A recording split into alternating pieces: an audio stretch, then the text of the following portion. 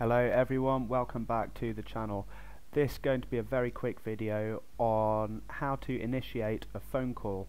So it's going to start a call on user's device. So here we have a button and we're going to add an action, link, website.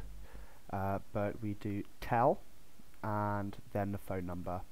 So whatever phone number we put there um, when the user clicks the button it's going to call it on their device. Um, but we can use the form input here um, so the user could type the number for example uh, if you wanted to do that. And let's preview it and make sure it works. Right so let's it's going to call this number. Call there we go. My my laptop's trying to um, get me to call from my phone of course but if you're on a phone it's going to work as you'd expect. Simple as that. I hope you enjoyed guys. I'll see you next time